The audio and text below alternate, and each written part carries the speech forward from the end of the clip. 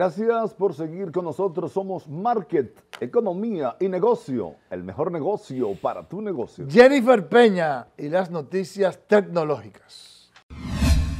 La popular aplicación de mensajería instantánea WhatsApp prepara más cambios para el próximo año y no se trata precisamente de nuevas funciones para los usuarios. Esta vez, la app incorporará algunos ajustes en sus términos y condiciones. WhatsApp es sin duda una de las aplicaciones más usadas a nivel mundial, en donde suma más de 2 mil millones de usuarios activos. Precisamente durante la cuarentena, la app ha crecido exponencialmente porque se ha convertido en un canal de comunicación para seguir con tareas laborales y educativas. De la aplicación WhatsApp pasamos a Facebook, que enfrenta una demanda en Estados Unidos que podría obligarlos a vender a Instagram y WhatsApp. La fiscal general de Nueva York, Leticia James, anunció una demanda antimonopolio contra Facebook en Estados Unidos y diversos estados de la nación que han alegado que Facebook ha dañado a la competencia al comprar empresas como Instagram y WhatsApp para deshacerse de posibles amenazas. La demanda está especialmente enfocada en la adquisición de Instagram. Con esta compra, Facebook tenía el objetivo específico de deshacerse de un posible competidor y ganar presencia en móviles. Es justamente lo que desvelaron correos internos de la compañía hace meses y que ha salido a la luz precisamente a raíz de esta investigación. Cabe destacar que Facebook compró Instagram en el 2012 por mil millones de dólares, una cifra insignificante al día de hoy si tenemos en cuenta cuánto ha crecido en usuarios y en valor. Para Marker, Economía y Negocios, Jennifer Peña. Gracias Jennifer Peña, tremendo, siempre se aprende mucho de todo lo que tiene que ver con el mundo de la tecnología. Ya nadie el mundo puede vivir sin tecnología, así que gracias Jennifer.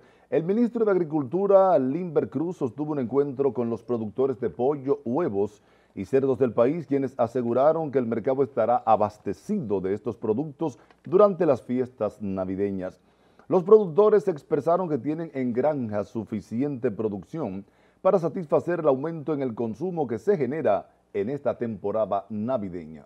Si nosotros actuamos con la transparencia que no hemos manejado hasta hoy, ustedes no esperen de mi sorpresa, porque trato siempre, porque no soy yo, somos todos juntos que tenemos que llevar el equilibrio, porque estamos luchando todos por un interés. Nuestro interés es que el pueblo tenga abastecimiento y que no compre caro. Y su interés es la rentabilidad, producir y mantener la oferta. Entonces nosotros estamos detrás del mismo objetivo. Al referirse al suplir la demanda de alimentos, el ministro Cruz dijo que el gobierno solo autorizará importaciones en los rubros donde se demuestre que la producción local no tiene la capacidad para abastecer el mercado por completo. Cada día son más los que se suman al pedido de que se realice una reforma fiscal. A ese pedido se suman los industriales y los comerciantes. Tenemos una historia de Edwin de la Cruz. El proyecto de ley de responsabilidad fiscal propone, entre otras motivaciones, que se debe plantear controles a los problemas de discrecionalidad en el gasto público, a la falta de rendición de cuentas, a la ausencia de criterios de evaluación y otras trabas que frenan el manejo fiscal prudente y responsable en el país. Al respecto, hemos cuestionado a varios legisladores, los cuales saludan la iniciativa de la misma, pero otros piden prudencia al momento de aprobarla. Los diputados Pedro Botella y Juan Carlos Echavarría, Joselito, coinciden en la importancia y necesidad de una ley de este tipo. Es un proyecto viable.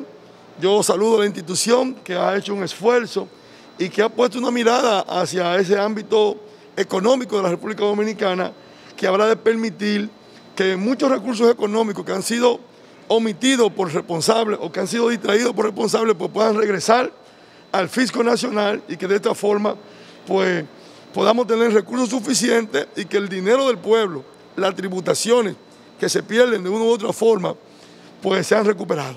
La ley debe facultar esos, esos procesos para si hay alguna, alguna estafa o alguna irregularidad, que se devuelva ese fondo el patrimonio del Estado. Por otro lado, los diputados Elpidio Báez y Redamés Camacho, además de saludarla, creen que la misma debe ser ponderada y bien estudiada al tiempo de buscar el consenso para evitar imposiciones de un sector a otro. Una iniciativa que debe ser muy bien ponderada, que tiene que ser muy bien estudiada, porque implica la creación de mecanismos coercitivos para poder lograr el objetivo de que cuando se detecten que se ha sustraído fondos del Estado para actividades ilícitas. Y pienso que es una ley que hay que consensuarla. Y digo que hay que consensuarla porque eso tiene una fuerte vinculación con las responsabilidades, como lo dice la ley, de eh, pagar los impuestos y de que el Estado reciba. Yo creo que hay que consensuarla, hay que trabajarla. El Centro Regional de Estrategias Económicas y Sociales, CRES, elaboró un anteproyecto de ley para la responsabilidad fiscal que fue introducido al Congreso por varios diputados, entre ellos Bertico Santana. Para Market, Economía y Negocios, Edwin de la Cruz. Finaliza por el día de hoy Market, Economía y Negocios. Será hasta la próxima entrega, o mejor dicho, nos vemos en la próxima semana.